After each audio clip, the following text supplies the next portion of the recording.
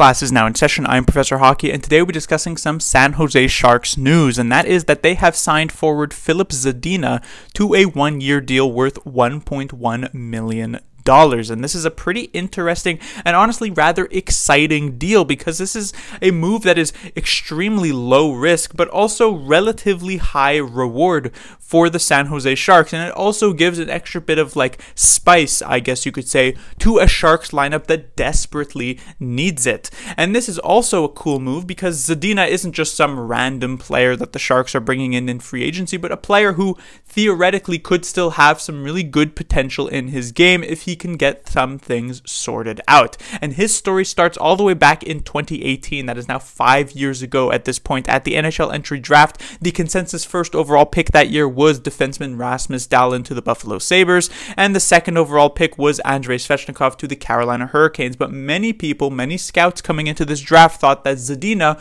would be the third overall choice and head over to Montreal. But for a combined sense of circumstances, many teams ended up going off the board and not taking Zadina. The Canadiens would take Kotkaniemi, the Senators would take Tkachuk, and the Coyotes would take Barrett Hayton, and the Detroit Red Wings at sixth overall would end up picking up Filip Zadina. Now, technically, there could be something that some of those teams knew about Zadina that maybe Detroit and others did not, but the Red Wings really thought that they had an absolute steal at that point, and I imagine fans of the teams in front of the Red Wings in that draft were disappointing to have not disappointed to have not taken Zadina, who was rather hyped up prior to that draft. And yet the Red Wings didn't really end up with the type of player that they were hoping for. Obviously, for even a third overall pick, you're giving them a good two, three years in the NHL before you try and get something really good out of them. But Zadina has had many, many looks with the Red Wings, and to be fair, that team has been bad, but also to be fair, the Sharks are also bad, so it's not as though Zadina is getting that change of a scenery. He's going from a bad team to another bad team.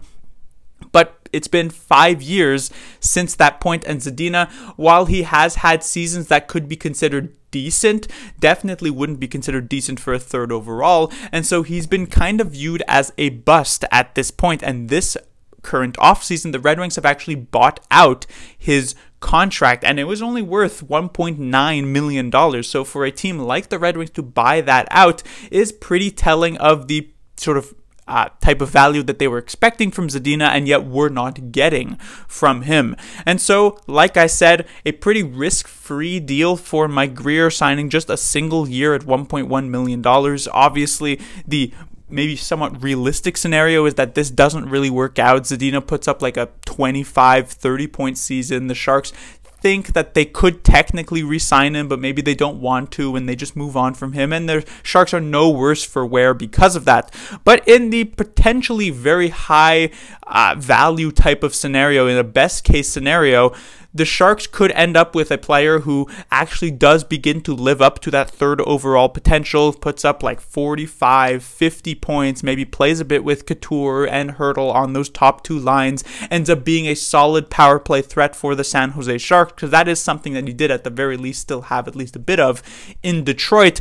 And he ends up being someone the Sharks could sign more long term, because the fact is, is even though he has been in the NHL for multiple years now, he started quite early on in his career as a third overall draft pick, meaning right now he's only 23 years of age. So even if you sort of in a worst case scenario where you're planning on the Sharks to be competitive in like four years from now, Zadina would realistically still be young enough to contribute on that Sharks team. So theoretically, the Sharks might be able to get an actual long term player here. The odds aren't particularly high for that actually happening, but you never know. And so, this is a really solid deal from Mike Grier. I definitely enjoy it. I'm interested to see how he gets integrated into the lineup, and hopefully, things do pan out. But if they don't, like I said, it's not the end of the world.